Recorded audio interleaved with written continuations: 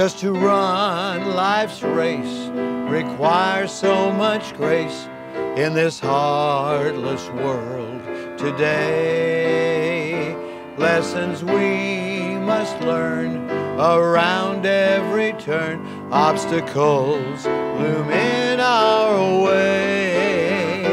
Trials we must bear, we've seen more than our share, but we know why it's so. Life should be a cinch when it's lived by the inch. Oh, but character comes by the yard.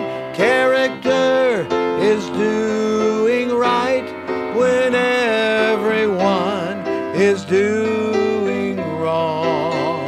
Character is smiling through the tears and simply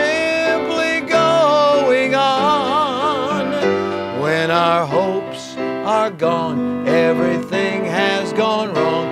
We remember why it's hard. Life should be a cinch when it's lived by the inch. Oh, but character comes by the yard.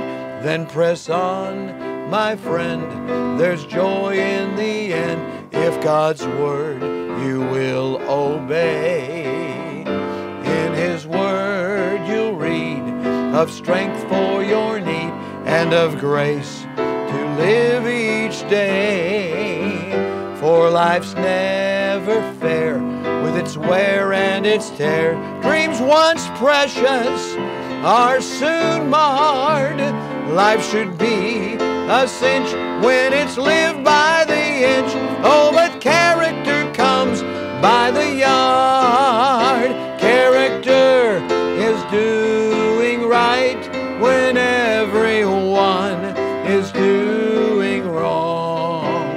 Character is smiling through the tears and simply going on.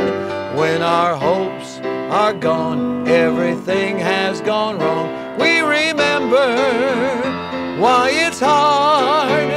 Life should be a cinch when it's lived by the inch. Oh, but character comes by the yard. Life should be a cinch when it's lived by the inch. Oh, but character comes by the yard. Character. Character. Many people today are concerned about character. Character becomes important in our everyday living. Character is important because as we think of those with whom we deal, we want them to manifest honesty, transparency, and good character. Of course, we want our leaders to demonstrate good character as well. And we hope that we select those who are examples of good character. Uh, today, as we think of character, we think of the book of Proverbs and chapter number three. Verse number one says, My son, forget not my law, but let thine heart keep my commandments. When we hide God's word in our heart, as the psalmist has told us in Psalm 119, we do so so that we won't sin. We do so so that it will become a part of us. And that's what comes out. We know from the scriptures that what's in the heart is what comes out of the man or the woman. And today, if we have been trained in righteousness, if we've been trained up properly, if we've been taught correctly, if we've been under the preaching and the teaching of the Word of God, it's going to become a part of the fabric of our character. Decisions that are made will be made on the basis of the Word of God, not on the basis of our emotions, which change and fluctuate, public opinions, which uh, are up and down and all over the radar screen, but apart from what the man might say or the woman might say, God tells us the truth. And we know that He's the one that guides us through this part of us that we know as character. So, is it down deep in your heart? Are you living on the basis of right character, right biblical conviction. We can get into the Word until the Word gets into us. And you know, even when everybody else is doing wrong, we can still do right. Let's pray. Father, give us that courage of conviction. Give us that character. Help us to live according to the Word of God. With our heads bowed and our eyes closed, if you've never received Christ and you need to be saved, then today is your day.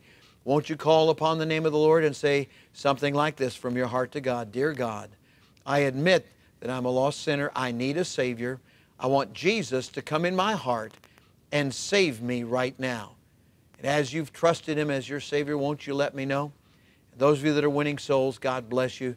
We'd love to share and know about those wonderful experiences of winning lost souls. Maybe right now you're the individual to whom the Holy Spirit is speaking. You're convicted in your heart because you're not a man or a woman of character, but rather of emotion or public opinion. Right now, we need to, we need to get off that track and get on the right, right track. Let's uh, get into the Word. Lord, I pray that you'll help folks to start making decisions based on truth, based on the Word of God. Help us to live and be people of character. We pray. And Lord, I pray also for those that have special needs today. Help them in Jesus' name. Amen. Amen. All right. Life should be a cinch when it's lived by the inch. Oh, but character comes by the yard. Let's be people of character today. God bless you.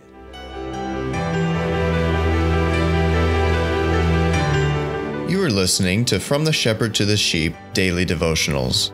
This is a ministry of Central Baptist Church in Woodbridge, Virginia.